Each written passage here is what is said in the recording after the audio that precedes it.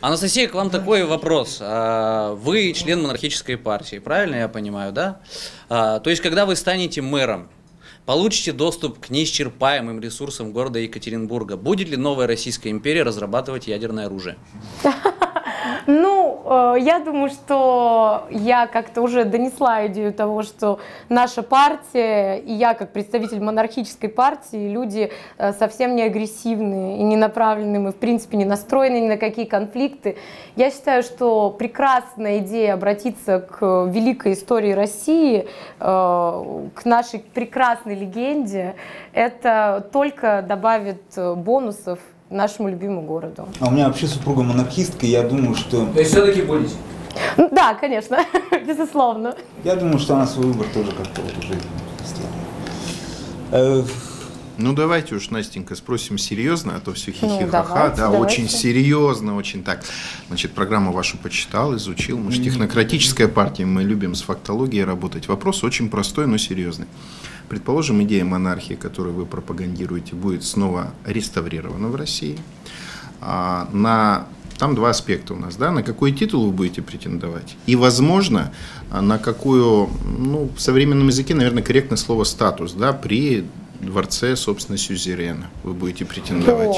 Ну, Нет, ну вы же собираетесь реально э, работать в реальной монархии, Я поэтому могу и вам вопрос сказать, такой. ответить на этот вопрос, что я, в принципе, э, не преследую такой цели получить какой-то конкретный титул. Мне кажется, это не Это столь же важным. обязанность, на самом деле. Я, А, вам Я понимаю, если это не тайна для меня, но Да. спасибо за желание меня просветить. А, Я могу сказать, что если наш принц сочтет должным э, Вы дать мне титул, в виду, да? а, это принц. вот. Если он сочтет э, должным дать мне этот титул, я его приму.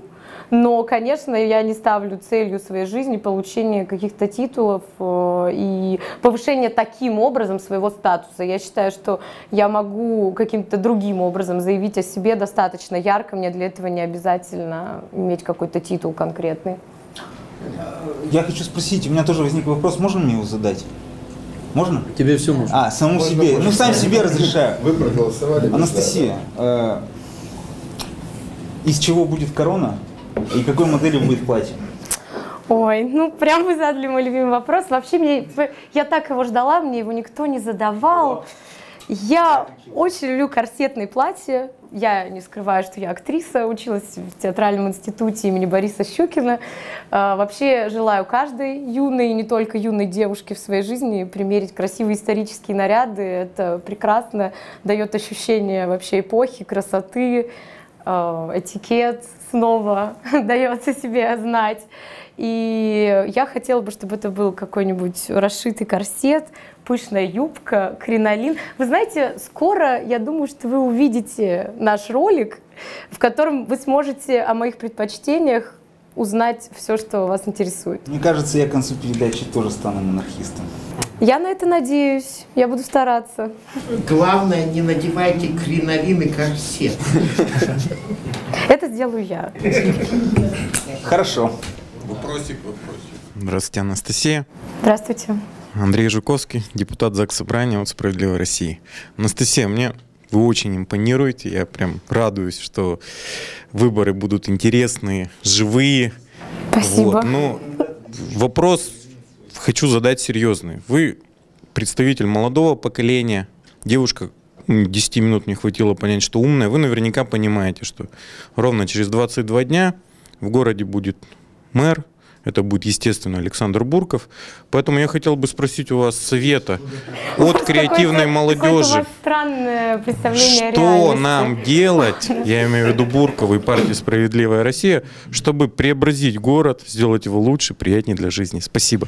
Ну, вы знаете, вообще эксплуатировать эту тему я считаю не очень честным, учитывая, что, конечно, у меня была некая романтическая привязанность к Александру Леонидовичу, но сейчас речь не об этом. И я могу сказать, э, что я бы, например, э, могу сказать, что сделала бы я, и, собственно, посоветовать э, другим кандидатам тоже обратить на это внимание. Мне Александр кажется, Леонидович. мне кажется, да, в том числе. Мне кажется, свой голос за него. Ну, нет, вы знаете, к сожалению, в этот раз нет. умело продвигаются. Опоздал на России, я э, смотрю. 19 лет. Да, 19 лет назад я бы за вас проголосовала сразу. Когда у тебя не было паспорта, Анастасия, Да, да. Но я могу сказать, что лично мне кажется, что необходимо заниматься, я об этом уже не раз, опять же, говорила, необходимо заниматься ребрендингом города и создавать ему какой-то имидж, э, помочь городу обрести индивидуальность. Ну, например, я не знаю, как вы, Александр Леонидович, но я как вокалистка э, настаиваю на том, что нашему городу необходим какой-то объединяющий гимн, э, который бы позволил людям, которые живут здесь, идентифицировать себя с местом, с этим, с городом любимым. И еще я бы очень хотела обратить внимание на архитектуру э, и обязательно занялась бы реконструкцией парков, потому что, да, я училась пять лет в Москве, я очень люблю парк Горького, я считаю это прекрасным местом, и я считаю, что жители Екатеринбурга заслуживают э, такое место, в котором будет здорово созидать, э, творить и приятно проводить время. Ну что еще? В принципе, у меня громадье планов, я могу и долго еще Я рассказывать. прошу прощения, а мне кажется, уже нечего реконструировать на тему парка города Екатеринбурга. В каком плане? Что именно вы имеете в виду? Уже не осталось? Ну, собственно, реконструировать и создавать. А, в этом плане? Да, я, в принципе, Создавать, настроена. возрождать. Да, Приходишь в парк с э, хорошими планами, а оказывается, что там арендаторы Там какие. культурно выражаясь, наличие отсутствия парка. Да, так мягко А, скажем, еще, цензурно, безусловно, да? первое, что я бы сделала, это я обязательно перекрасила бы серый дом, потому что там есть, там есть коридор, по которому ты идешь, и такое ощущение, что ты впадаешь в кому в этот момент. То есть он просто глухого, непробиваемо серого цвета. И я спрашивала ребят, На третьем, которые... веселый юноша на, на повороте. Можно я закончу? И я спрашивала э, людей, которые там работают, как им, в принципе, там, и они такие, да, вот мы уже привыкли. Но я У нас здесь половина Да. в поле. А это да. неспроста, их, видимо, вот таким образом... То есть Да. роз- розочки, ромашки, да? Нет, Юра вы знаете, розочки, ромашки, не только скажем, нет? розочки, ромашки, но я считаю, что и розочки, и ромашки Вензеля, лучше. ангелочки, Да. королевские Лучше После окончания дебат надо ничего. начинать сразу перекрашивать. А цвет какой? Ой, вы знаете, это сложный вопрос. Конечно, когда у нас были дебаты с Альшевским, он сказал, что надо перекрасить в красный. Собственно, я как монархистка должна была ответить, что в белый. Но поскольку я лично считаю, что нам необходимы новые яркие цвета, я очень люблю э, фиолетовый, я люблю... Хотел сказать желтый, но поняла, как это будет воспринято сейчас. Почему у нас Я есть один люблю- желтый дом? Желтый дом? Нет, перекрасить серый желтый. Нет, я люблю яркие идея, цвета. да. Я считаю, что предложения принимаются. Если мы все здесь живем, э, я против тирании. Давайте все рассмотрим предложения. А можно создать всех горожан, сказать, горожане, красьте в тот цвет, который Каждому вам по нравится. баночке эмали Да. и вперед. И то будет это Ну, лучше, этим чем то, что мы имеем занимаюсь. Мы сейчас. стены раскрашиваем же, арт-движение. Нет, это я очень поддерживаю эту идею, она мне очень нравится, и это Если очень нам здорово. разрешат, конечно. Так, что-то мне кажется, что я должен уже как-то начинать пресекать выступление одного оратора, как бы мне вот не притило вот это, и, видимо, предложить опять палочки. Ваши коллеги, единороссы, в фракции которых вы состоите, собирают по тысяче рублей. За для, что?